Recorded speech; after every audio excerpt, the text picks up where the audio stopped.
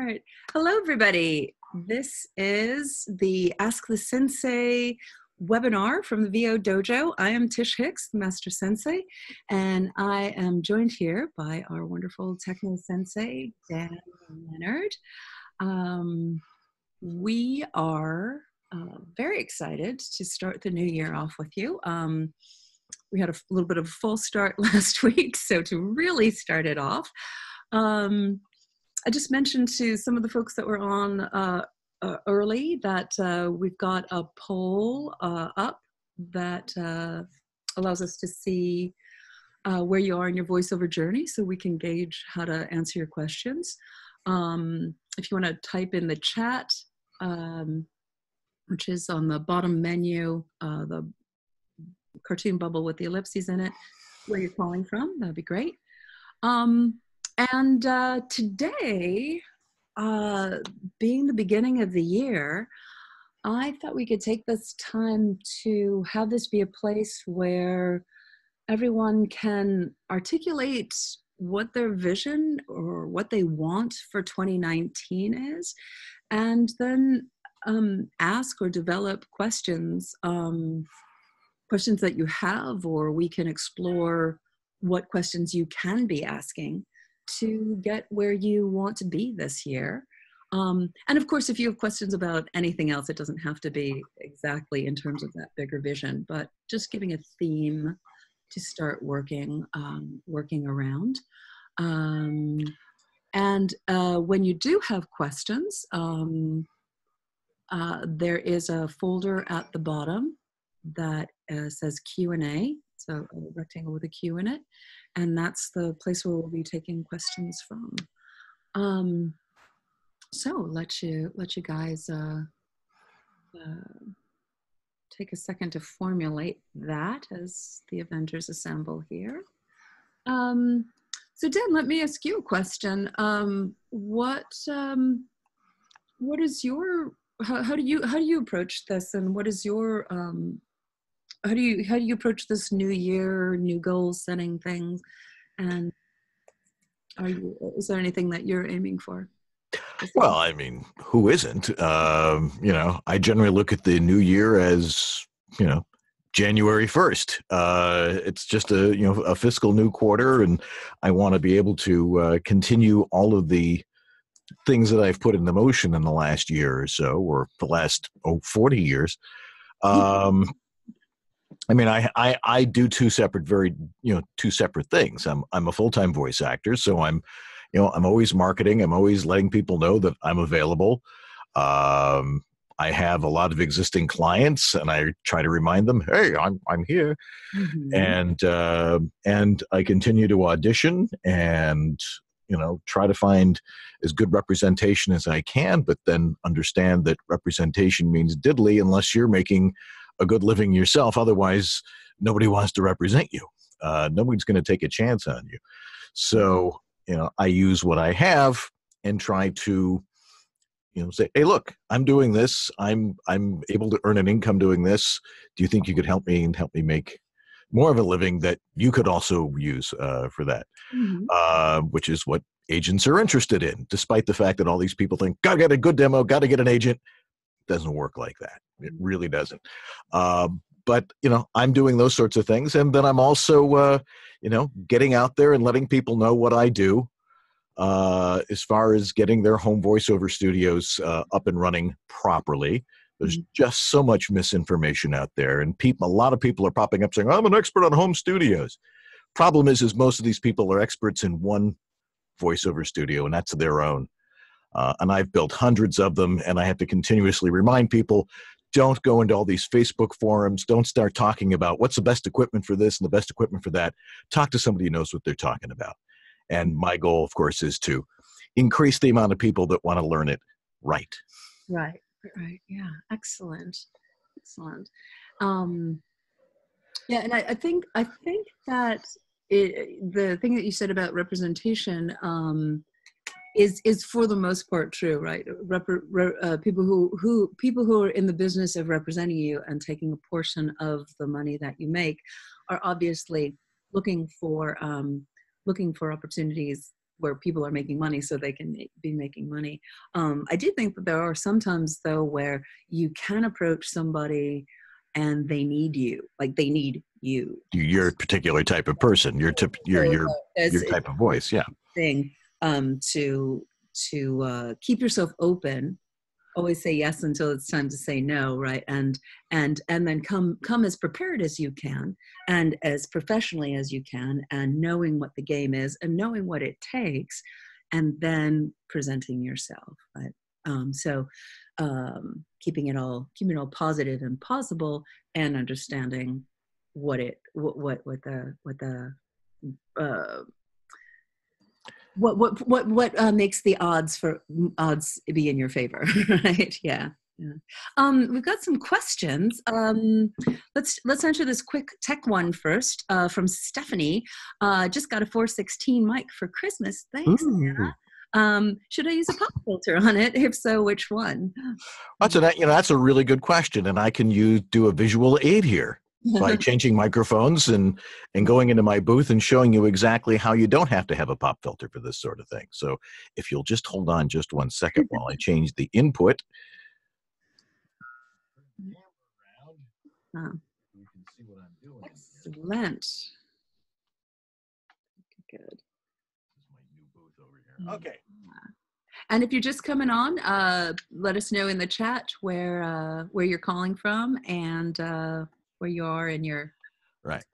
the proper way to use a 416 is like this or it, it the same rules apply for any studio condenser mic which is what a 416 is. Can you hear me there tish? Yep yep you're okay. good.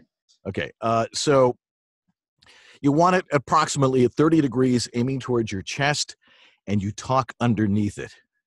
Because as you can see i can say peter piper picked a peck of pickled peppers all day long. You hear me as clear as a bell and you're not hearing any pops. The only reason you would use a pop filter on a 416 is if you're doing like promo work uh, and you're like really using the mic close. And, uh, you know, I have this one that's uh, made by a, a, local manufacturer, hookstudios.com. He loves to play with his, uh, his, his digital printer. And the only way you, reason you would do that is if you get really close to it and you start doing this sort of thing and that's almost nobody. So I don't use a pop filter on it because I this is the process this is the this is the proper mic technique for using it. Mm-hmm. And as you can hear, because it's the way that the, the, the 416 is designed and why so many uh, engineers and studios really like it is that it's designed to be a video mic to pick up in a very narrow pattern. So it, it keeps out you know outside noise pretty well. It can help you out, you know, if there's a leaf blower going on outside or something. Um, but also, you know, if you're the proper distance, it sounds real like you're having a conversation, not like you're on the radio, which, mm-hmm. by the way, you're not. um, so this is no, you really don't need a pop screen for it.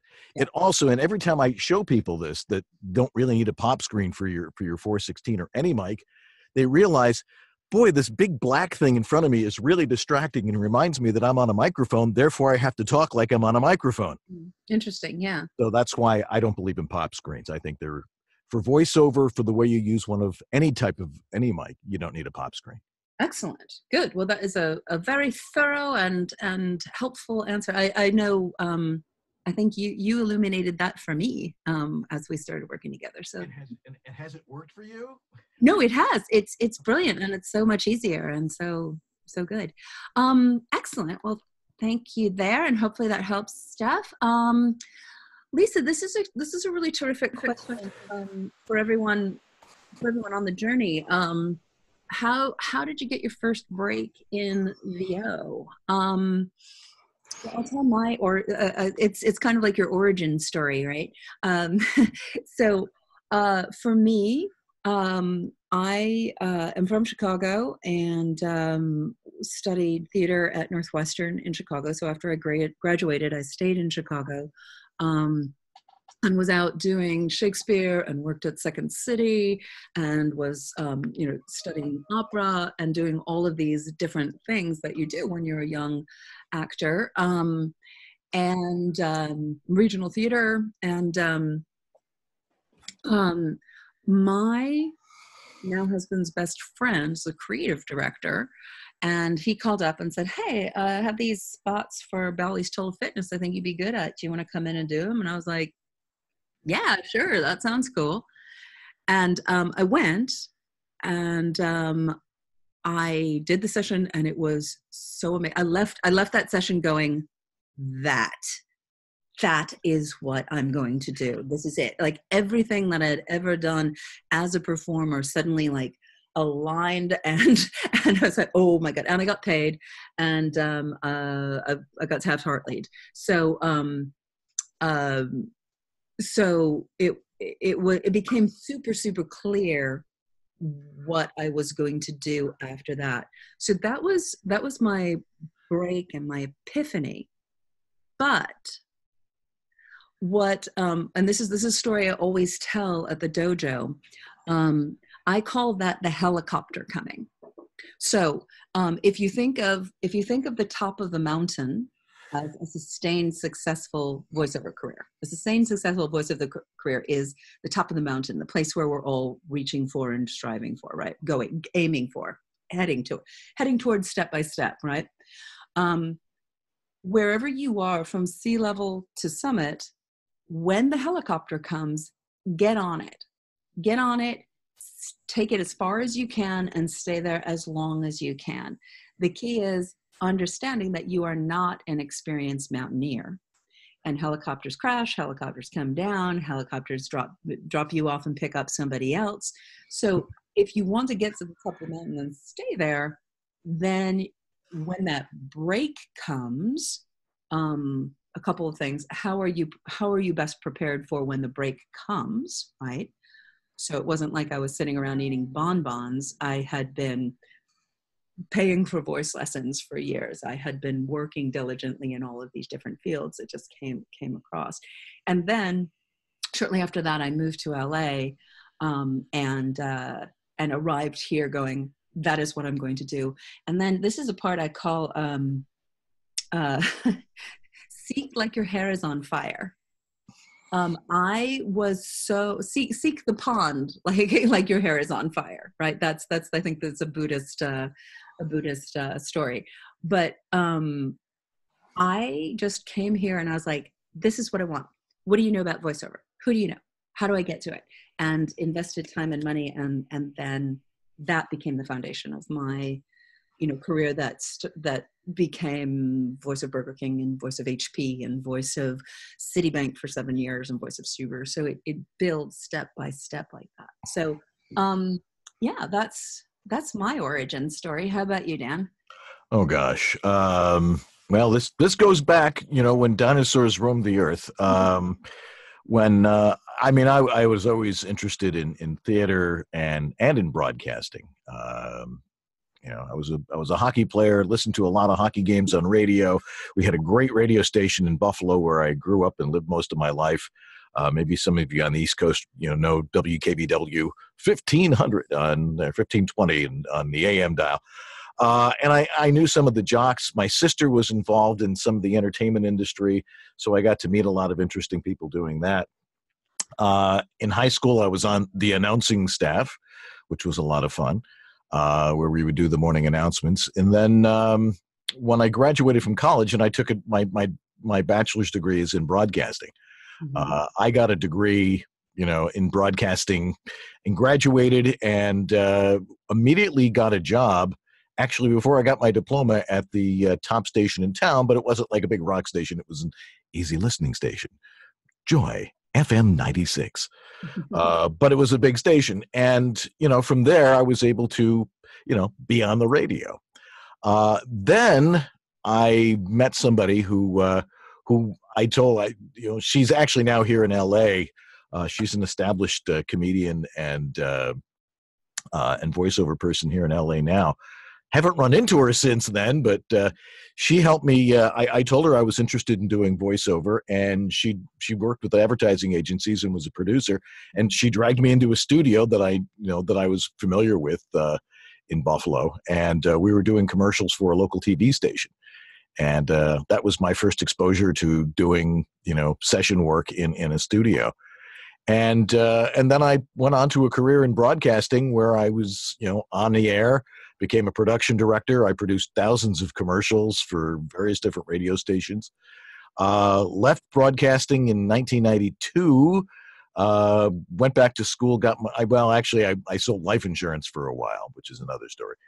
Uh, which is, by the way, great training for learning how to do uh, marketing and you know cold calling you your know. own sales sales for yourself. Oh absolutely. Uh, i learned how much i hated it but you know but you learn how to do it and you learn things like as you were saying earlier every no is one no closer to a yes so you got to keep pushing for that. Uh, and then um, i went back to school got my teaching degree taught american history in high schools for a couple of years decided it was not for me even though i loved teaching uh, did not like the administrations but again that's another story.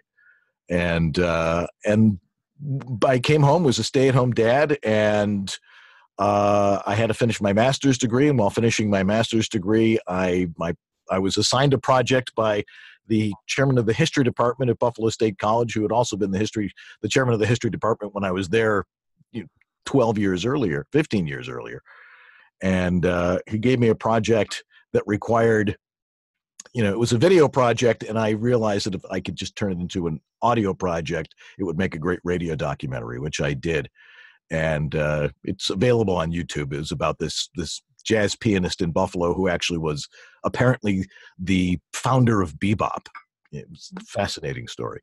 Uh, but I realized then, I'm like, well, wait a second. If I can record digitally and do stuff in my basement, shouldn't I be able to do this at home? and you know typed in voiceover and those early search engines and uh, suddenly voiceover was there and uh, i was able to ride the early wave, wave of, of voiceover on the internet uh, before it was a very closed society of, of a few jocks that might have a recording studio or were doing stuff on the side out of their own radio studios where they were working and now anybody could do it and the technology was there and uh, so I was able to start building my business off of pay to plays, off of forward marketing, uh, that sort of thing. And that was in 2004. Yeah. So I've been doing it for you know almost 15 years now uh, for, as a freelance voice actor yeah. well and it's interesting there's a lot of lot of things a lot of things in your origin story dan that i think are, are really important for everyone to know and i love i love this idea um uh, wherever you are, you know, uh, if, if, however far you are on the journey, it looks like everyone's in in pretty good, you know, pretty good fun. Remember, tell tell the story of your origin story, right? If you're just starting out, realize you're creating your origin story. Um, the thing, the things that strike me, Dan, um, about your story is um, uh, coming from broadcast. Um, at the dojo, I I always um, uh, I I say that broadcast is kind of like the cousin of voiceover. That all of the skills that you have as in broadcast are going to be applicable. Um, and it's just a little bit way the family runs a little bit different. Like if you went over to your cousin's house to sleep over when your parents went out of town, you know you're in family and it's comfortable, but the rules are a little bit different or how things run are a little. Oh yeah. So it's really adjusting. And then the other thing that is really fascinating um, about your origin story, Dan, is that all the other, well, all the other things that you've done have served you. You're an educator that has served you. You had sales background in something completely unrelated, but that serves you. So there's always, whatever your journey to here has been, there's always a way that we can take that expertise and adjust it to this medium. It will apply. And the third thing that I note from yours is that every juncture you use the word decide. I decided, I decided, I decided, right? So I think I think that's really the key to everyone's origin story. Well, you got to you got to commit to stuff. I mean, if you if you if you want to do something and you feel it's your passion to do it, um, you go for it. Um, if you feel comfortable doing it, it's uh, you know, I mean, it's always hard work, but if you're comfortable, if you feel familiar in that particular realm, go for it. You know, yeah. and that's why that's why you're all here this morning. Yeah. Well, good, good, good. Thank you. Hopefully that was helpful. Um, and um, uh, yeah, and I would love to hear from everybody. Um, um, I would like to hear uh, from everybody, hear a little bit from you about what's on your mind for the new year. What are you after this year, and uh, where? What questions do you have about uh, how you can get it? Like, what, what, where, where do you like? Ah, I see it, but I don't, I'm not sure how to get it. I'd love to hear just uh, just to share your goals too if you want to put those in the chat that would be a great discussion.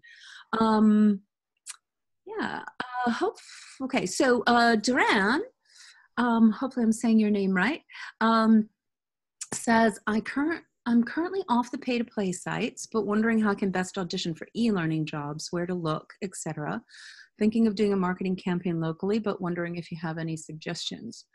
Um a uh, couple couple things. I think that uh, taking taking the taking the you know the the closest radius um, is is a great approach, right? Because the other the other thing about both my and Dan's origin stories, if you'll notice, is relationship, relationship, relationship, relationship.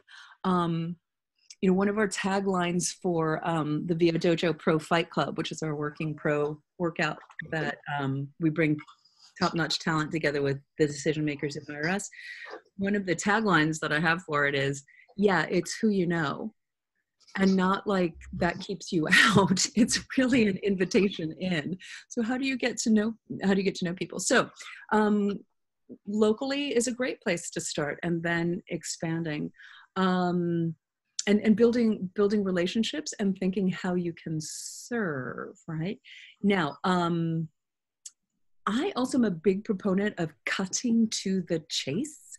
Um so finding the people who like do this all the time and know what they're doing um uh not i think it was last no two months ago we had um christy bowen on uh, as a, as uh, one of our colleagues for Ask the Sensei, and she has just released the e-learning series that she is promoting. Um, and uh, like she'd be the first person that I would talk to about that. Um, so um, other, you know, and and within that e-learning course, and, and some of the things that she talked about uh, last time was with with any of these with any of these um, any genre that you're approaching who's making it right? Who who needs what work? So right. needs e-learning? So um like start it's not only like who is it? It's how do you start thinking about it and how do you start thinking of yourself as part of the solution? So like laying that down. Um, I'll just put that out generally. Um, Dan, I know you do a lot of e-learning work yourself, and as an educator, I think that's you probably have so much uh, leg up in that. Well, it, it doesn't hurt. Um, you know, there's, uh, I mean, I did two e learning things this morning before this, uh, working with uh, existing clients. Uh, I built my e learning business essentially off pay to plays and uh, a, a, couple of rosters where I was put into. Um, you know, I, I was I was put into a job once you get a job with one of these clients, you establish the fact that you're the guy that should do it. Mm-hmm. Uh, one of my biggest clients is a, a, a, a large distributorship uh, in Houston of of a commodity that uh, that you know a lot of construction people need, and you wouldn't believe how many of these things they sell and how many companies they represent. But because I've done all of their training, uh, they can't get rid of me. I know their product line better than they do. Uh, and I know an awful lot about what it is that you know how to how to install the products that they represent, uh, which is actually kind of a cool knowledge thing. Mm. Um, also, it, it, it, was a matter of doing a little bit of cold calling, uh, and again, it's about finding a client and making the or finding somebody who needs your voice and making them a client. Uh, you know, when you meet people, we were talking about socializing. When you get someone's business card, or you meet somebody at a party or something and you go oh you work for so and so company. Do you guys do any training for your employees or stuff to inform your customers? Yeah i think we do that. Well and i used to say who's the guy? and now i've just learned to say who's the person uh, that uh, who's the person that does that? Can i have their name? Can i use your name? and talk to them say, look i'm a voice actor I do this sorts I sort this sort of thing. Do you need someone who can record this stuff professionally, and uh, you know, and make it easy for you? Which is the other key to e-learning, which is make it easy for the person on the other end. Mm-hmm. Make their job easy um, by giving them something that they don't have to futz with too much. It's like here, here's your file. It goes into your PowerPoint. It goes into your video. That sort of thing. Mm-hmm. um, and and and that's really where where e-learning comes from and there's a tremendous amount of it every company any any large business or medium to large business has to do video has to do training stuff and they're all going to internet based stuff and that's where that's really where the business is and i think the majority of people who are making a living in voiceover uh, I mean, we all want to be in commercials and we all want to be big stars, which is not what voiceover is about. Voiceover is about being a, it's a job you got to work at it. Mm-hmm. and so therefore you've got to find lots of different opportunities to do what you do aside from commercials. And e-learning is probably the largest segment of that. Uh, that's where the business is. The people who actually making a living doing voiceover are very good at marketing to the people that create e-learning material. And that can be e-learning companies it can be the companies themselves. Uh, the the opportunities lie in you know in in far in um, uh, the uh, uh, pharmaceuticals. God, there's just so much of that stuff. Mm. Uh, you know, I work. I have a couple of clients that are you know it's all it's training drug reps how to not break the rules. Uh, a lot of stuff in compliance, uh, in banking compliance, in it's just, you really learn what what goes on in the economy and and you know having come out of the insurance business you know it was something i understood. So with financial stuff and things along those lines it's just a natural for me. Yeah. um, you know i just did something about acoustical doors and acoustical panels for a company i work with. I'm like oh here's something i know an awful lot about.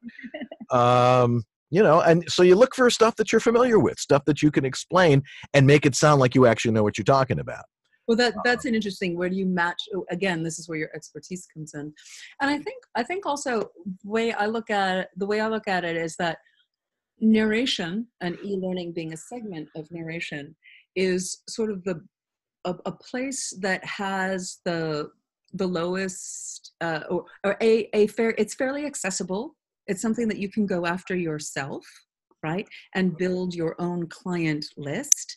And um, and there's a lot of it as jan said everybody needs it. So it's a great foundation. And then everybody's going to be deciding you know what, what market are you in? What is available? What are you what are your dreams right? Because um you to have some bread and butter stuff like being able to do e-learning is fantastic. And you you can also you know I, I think everyone needs to diversify. So understanding that it is a very powerful possible um, revenue stream and then you defining what your time your time ratio is and where you where your interests lie um too is is very good. Um there's um I think, I think the other thing, um, Duran, that is interesting, uh, you know, particularly in light of some of the recent developments in the pay-to-play world, um, sort of like pay-to-play is, has been a new answer and now it seems uh, it seems like as everyone's flocked there it's also becoming more problematic or people are, are realizing eh, is this is this really the best way to do this?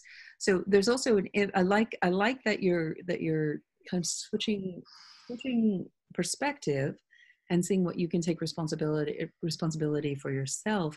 And I always think of it like if you're at a dance and there's a group of like a whole group of you know say say you're a girl you know like there's a whole group of guys and you could you know or, or uh, alternatively a whole group of girls. If you're in with a mix of girls how do you become the one that is like hey i'm going to dance with you right?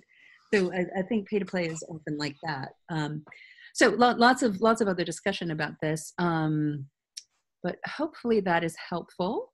Um, let's see, let's see where we're at time. Oh, so I'd love to, we're getting some really um, great shares of, um, of things, of, of, stuff that you're working on, and we'll come back to some questions. Um, Catherine, hey, Catherine Campion, how are you, dear? Um, Catherine is an old friend of mine and a rock star in this business. Um, and um, you know what I love about this call is that we all always have questions, no matter how how much we've done and how how uh, how long we've been doing it. Um, so Catherine says totally relaunching connections with buyers, working with Randy Thomas, going with like I said, go with the people who who inspire you and and can can take you to the place and that's going to be different for everybody right what you need next and and who you need next and what's the next thing is, is going to be different. Um, and there's something else. Um, focusing on where the least effort generates the greatest returns um, is is once again how everyone customizes. Um, yeah. Um, so this is great, and you have to determine where your hustle is. I love that.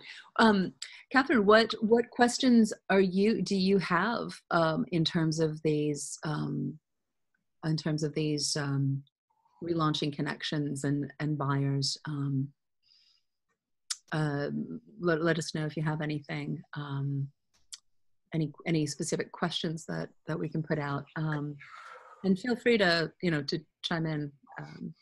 Um, Joni says my goal this year is to absolutely free myself from the P2P dungeon it's it's it's a thing.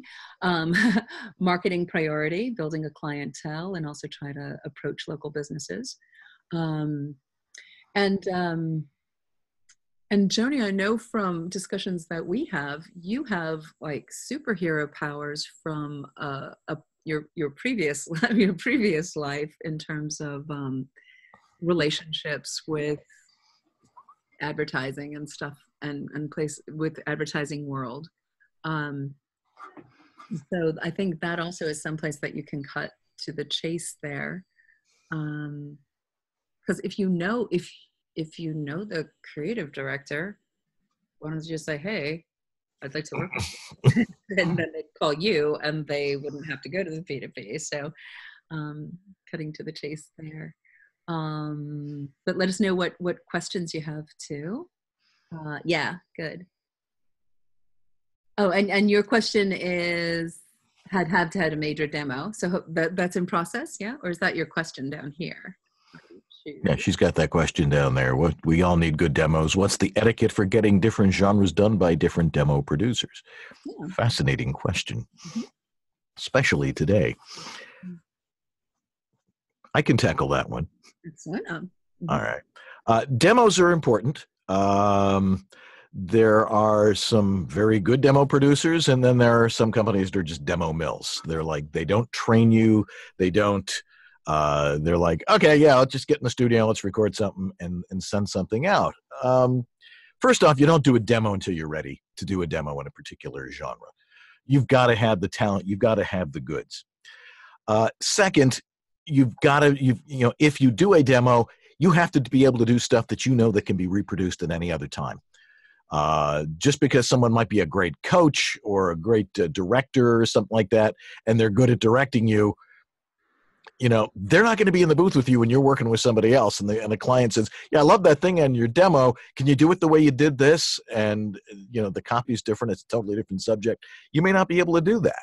So you've got to be you've got to be ready and the person that produces your demo someone like tish who you know helps you with this kind of stuff she's going to tell you and she'll probably agree with me. Unless you're ready to do it, don't do it. I mean, yeah, you want to try and get, you know, you can you can, you know, cobble some stuff together, uh, but it uh, you right now I think it's more important to get your auditioning down really good. And once you start doing a lot of auditions and you get really even better at doing that, then you know then you can start firing off stuff for a professional demo. And you know it doesn't have to be really sophisticated. There's lots of different opinions on you know who to work with how to get it done. But just like with home voiceover studios every voice is different every room is different everything is unique. The most important thing about a demo is what is it unique that you bring to the table? And somebody yeah. has to recognize that and and bring that out in you in your demo Right, right, and I think I think that that gets to the what is the etiquette for getting so so so that is that is great advice for for demos in in specifically you know at dojo we we have rubrics right? There's like there's um things that we're looking for that was and one of the that, that that say when you're ready right? So one of the things that i look for are are you able to are you able to pick up any piece of copy that's put in front of you and nail a great take within one or two takes? That would be a great first starting place. Um, so and then it seems like joni your question is about different genres and different people. So i think it's a two layer question here um, so first, first the the the well, several layers here because Dan's addressing what is a good demo and how how do you know that, um, and then different genres. Are you uh, where where are you in being able to deliver competitively with that genre, right? And then in terms of different demo producers, um, you know, I think this I think this goes to this goes to um, a mindset, which is also you know, at the heart of everything we do at the dojo. What's your mindset about this? I think that as actors and performers, a lot of time we get into this mindset that we are not in control of things. You know, there's there's the word submit your audition, which I hate. It's like, oh, I submit, I submit my audition. And it just puts us in this like we can't do anything actually we're business owners and we make we make informed wise decisions um, based on our instincts and what we are trying to accomplish. So in terms of like an etiquette um, you know in terms of an etiquette there's a, a, someone who's a demo producer is someone who is someone that you are buying services from. So you are in you are in control. So if you would like to have one demo done by someone else and someone else do the other you know i, I would i would investigate who knows that who knows that um, genre really well. And then the second layer is who do you resonate with right? Um, and um, so so that's um, going with different people. And you know if you if you have a demo session where you're not you didn't get what you want um it's i, I would say you know you were totally right say wow I, that wasn't what i wanted and go with somebody else you know what i mean?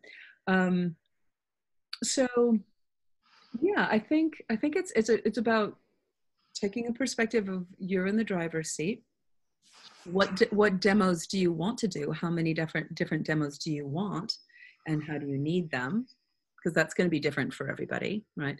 We just did a you should do voiceover intensive and there's a amazing woman who has has just a little voice that's just kind of like this all the time. It's like well clearly one of the things that you're going to do first is an animation demo right? Which is different than somebody else's voice. Um let's see hopefully that's that's helpful I think etiquette etiquette is just being respectful and dealing with people in good business ways. There's it's right. not it's not an emotional thing. It's right. Uh, and and see how professional they are with you.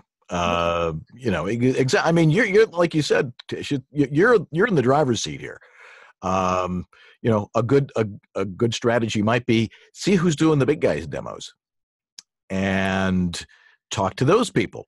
Would you do my demo? And they're only going to work with people they know they'll be successful with because that's why they do successful demos for people. Mm-hmm. And if they think you're ready, they're not just going to take your money. They've got a reputation to uh, uh, to uphold. So if they think you're ready, that's that's another good key into uh, somebody that uh, you might want to do business with. But they ain't cheap. But if you're investing your career, that's what it takes to you know to have a a, a good piece of your your business uh, puzzle. Yeah, and you know, um, you're continuing uh, just to do your your follow up, Joni. Um, you're getting a demo done with a highly visible demo producer. That's great. If you don't want them to do your e-learning, then don't put that on the table. You know, sometimes sometimes if you're working with a demo producer and you're doing a whole package or suite of things, it's like when you buy appliances together, you you might be able to work something out with them, but you you can go buy your microwave and your dishwasher and your stove separately too. Um, yeah. Oh, uh, let's see. we can segue. Let's let's do follow up from Catherine and um, uh, was a question about VoiceZam. What's you, you oh yeah, VoiceZam. Uh, yeah, she, the, the question is, is, you know, she says, wondering your take on VoiceZam, and my questions about finding an updated buyer list and stuff. VoiceZam is, you know, if you're not familiar with it, VoiceZam is a, a program that uh, uh, that connects to your website and hosts your demos and allows you to break them up into individual files uh, to um, you know so if a client is like going through your demos i don't want to hear this one. They can just jump right ahead and listen to those certain things.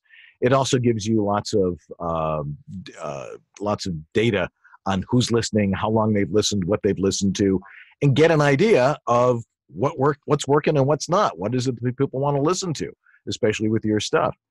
And um, you know it's an interesting thing to add on. It's you know it's another thing you can add on to your onto your website that just adds to the sophistication of it. If you're sophisticated enough to do that and you're committed to doing it it's it's an interesting way to do things. There are other ways to do it as well.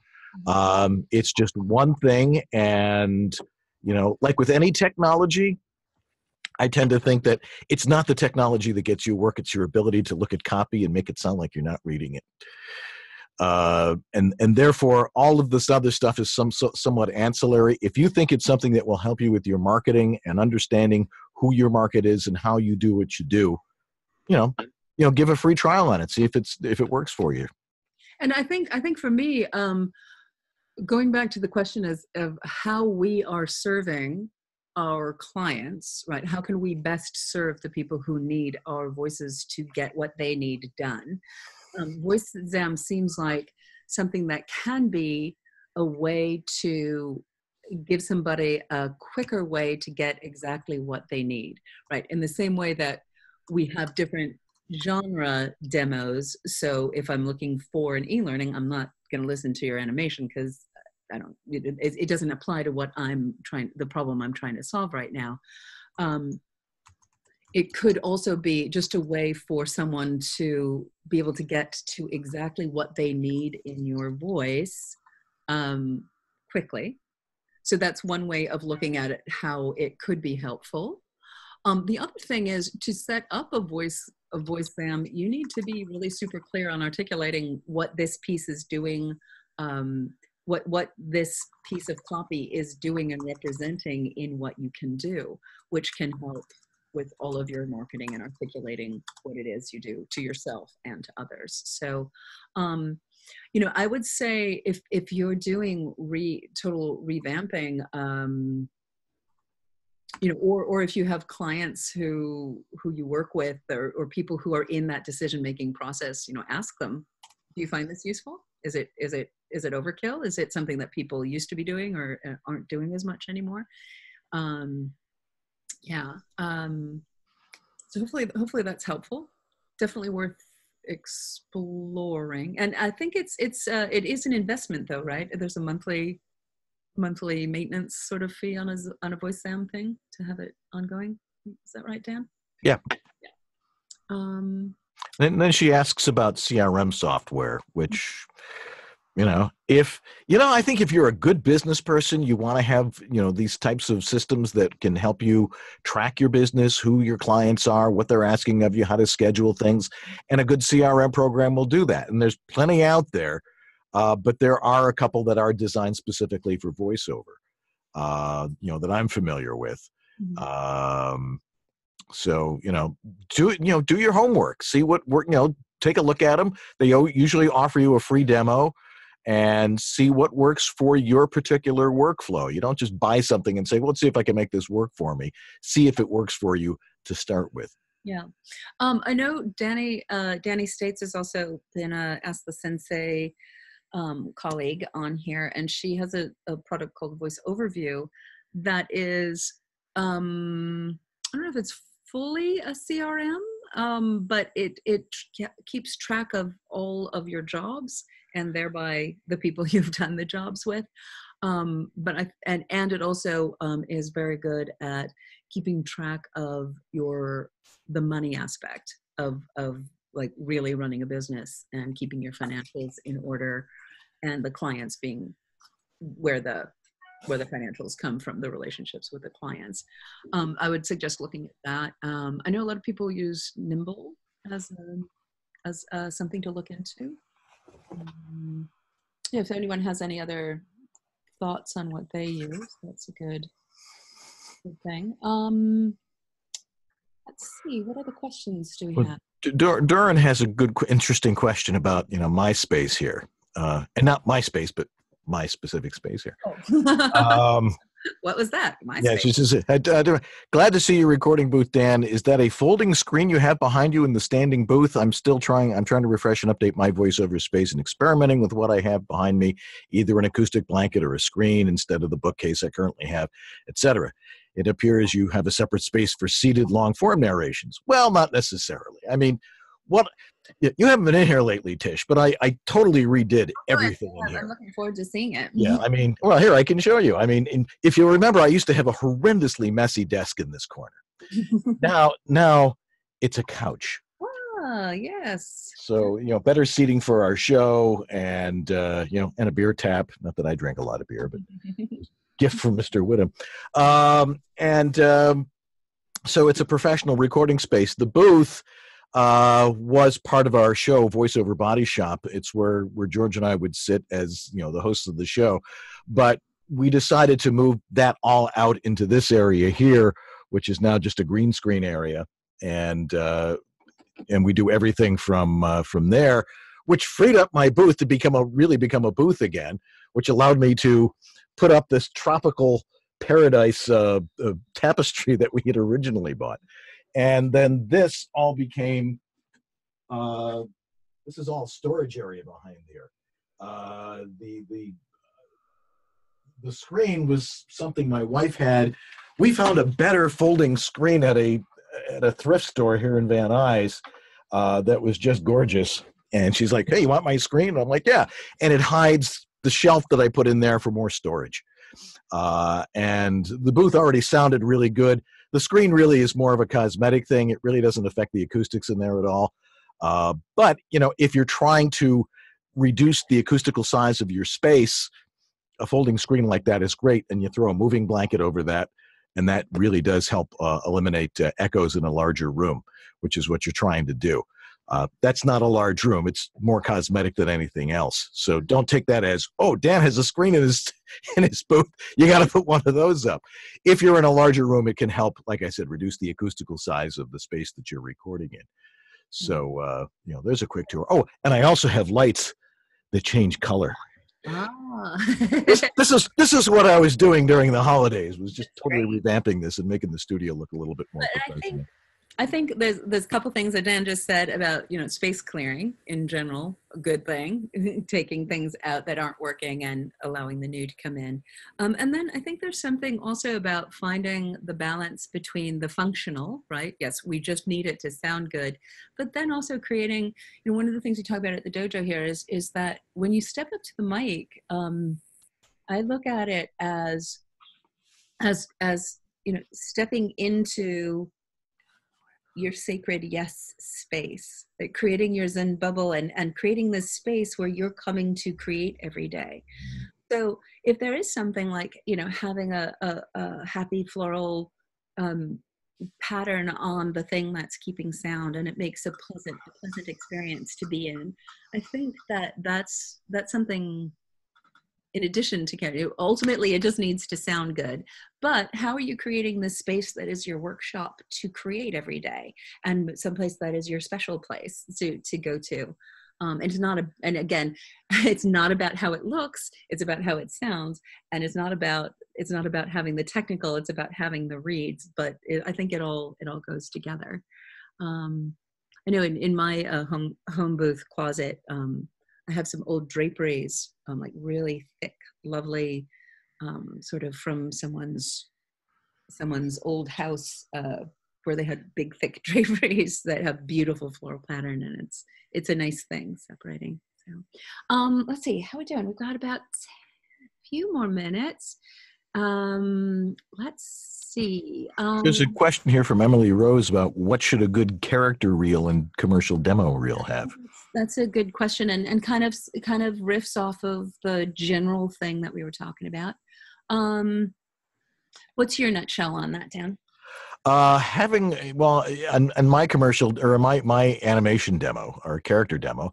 Fortunately, I had some great people to work with here in LA. You know, if you're living in Des Moines or you know various other places, it's kind of hard to find these people. Um, but you know, I worked with Debbie Derryberry, and she, you know, she's just amazing. Hmm. Uh, and uh, you know, if she thinks you're good enough, she'll work with you. Hmm. And and that's really you have to find somebody who's been good at doing uh, character demos. Mm. Uh, people who work. think makes a good one? Uh, what makes a good one? Uh, what makes a good one is a total variety of characters, uh, showing what you know your versatility, your ability to stretch, and you know change from an old man to a lively old man, and you know th- those sorts of things. You, doing characters is a whole different technical skill, uh, and what's important is that a coach who works with you doesn't create you in their image, someone who perhaps was successful in this business. They're creating you in your image. What is it, again, what's unique about you? What is it that you bring to the table? I think you can probably do this type of a character. Try this, try that and see how well you can you can adjust to doing those those different types of characters and teach you what it, what goes into the process of creating characters. It's not just being able to do funny voices.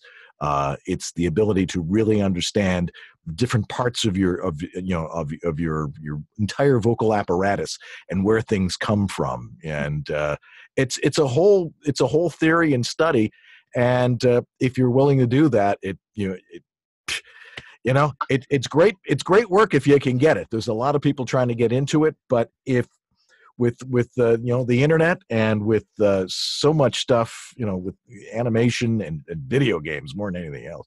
Cripes you know that's it's a good time to have a, a character demo especially one where you can show off the types of stuff that you need to do for for video games. Well and i think i think yes and and and for me there's a couple criteria. One any reel is a showcase of the range of things that you can do right and it doesn't mean you have to be able to do high and low and all you know you, just a range of what you are capable so even if it's just if you do one color then show me all the shades of blue that you do if you can do all sorts of different colors then let me get a sense of that right um, what dan was saying it's not about voices it's about uh, the heart of the character, understanding what it's after. So I think there's a couple couple of things that you're looking for in a good character demo. Um, you want to um, have, and then one other thing um, uh, that is important to take into account is the range of of animation work that there is these days. Right? There's there's from you know My Little Pony to Archer, right? Um, or, or, even beyond Archer, like even more Adult Swim, right? So you need to understand what I call the tone of the tune and show a range of how your voice can apply in what the market needs, um, what your voice can do in terms of range of, of sound and tone and qualities and textures, and then what, what is your range of emotional life and pacing. Um, I think a good character reel should have you um, really embodying being able to create a scene and urgency and physicality through your vocal um, thing. So it has um, as, as much as we can get in a, in in one minute um, is is the real thing. And then on a, on a commercial reel, kind of similar. How does your voice serve the market? Um, it, what is um, we want a, a range of what I call the cellometer of a range of intimacy and energy, right? that would apply to any any ad that would be on TV. So what's what's your quiet, intimate, most intimate place, and a spot that's that's sort of right here, and maybe maybe has a different pacing. And then the really high retail one, you know, it's the Toyota red day, it's a Toyota one day only sale. Come on down and da da da da da, right? And even bigger than that. So having a range of of energies and then what your voice is, and then um, the way we work here is how is it a personal reflection of you? Is, is what's on your demo something that really resonates with you? Because if you're in line with what really resonates with you, then chances are it'll probably really resonate with me. Um, so those are those are things that uh, that I look for um, in a good commercial. And also, here's another great thing for either and for any reel does it take you on a ride? Like, does it make, does it start you somewhere, take you on a ride, go all these twists and turns and make you, and come to a conclusion? And ideally, um, on that ride, whoever's listening gets to know you didn't want to get off at any point and when it comes to the end goes like ooh i want to do that again who was that that's great so that's you know that's another thing of is is it is it a good ride um yeah. Well um let's see. This is very very good. We're coming to coming to the end of the ride here. Um really good questions guys. Um always know that um you know, if you didn't get your question answered, if something comes up um, otherwise, you can always reach um, reach me for a I call it a voiceover once over call, free 15 minute call. Um, you can go to our website www.thevodojo.com um, and find that. But always always available if you have questions. Um, let's see Dan, how do people reach you? And, and then I want to share with people um, what's coming up at, at, at, the dojo as well. Sure. Um, you can reach me. Uh, I, you know, I've got a couple of websites uh, for the different things I do. But if you're interested in some help with your home voiceover studio, uh, you can go to homevoiceoverstudio.com. Yeah, I got that URL. um, and, uh, you know, contact me. I can do consults with you. My most important point is that you know you don't want to obsess about the technology because it's not about the equipment and what i'll do is i will teach you the basics of what it takes to do voiceover so all you have to do is hit record and do what you do and not think about oh i got to process this i got to do this i got to get this microphone you know? I, I will you will leave after an hour hour and a half with a huge boulder lifted off of your head. So that's uh, homestudio.com home voiceoverstudio.com voiceoverstudio.com excellent. Good good good. And um in terms of uh, stuff that's going on here, um, we do this the first Wednesday of every month at 10 o'clock. Dan and I are here, and then we usually have another um, colleague uh, that joins us. So there's lots of different angles and facets to uh, getting ans- getting your questions answered because that's always the case. Um, if you're starting your journey or midway and need like something that might be another way of thinking it um, we are starting our You Should Do voiceover virtual intensive this Saturday. We have some spots left. Or if you know somebody, if, if you're working pro and have people, um, people saying, hey, can I take you to coffee and pick your brain? You can just go like, hey, you know, it'd be good. You can get all the answers there. Um, so that that's a that's a service we do for our working pro colleagues too.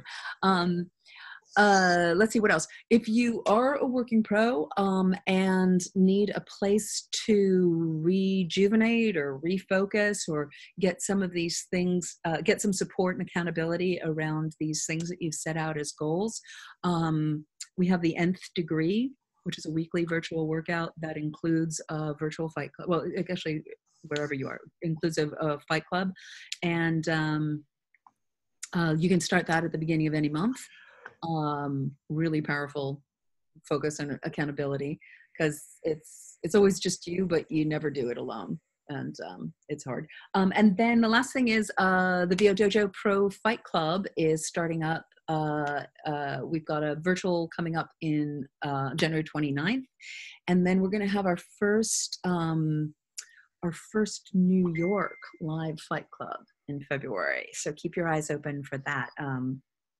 yeah, Carly Silver is going to be the the guest there in New York. So um, check out the website www.thevodojo.com. Thank you all for being here. Um, look forward to seeing you next month, and always here to help with whatever you need. So thanks so much, Dan. I know you're super busy, so really appreciate taking the time out for. Thank you, Tish. Thanks everybody for coming. All right, guys. Thank you so much. Have a great day.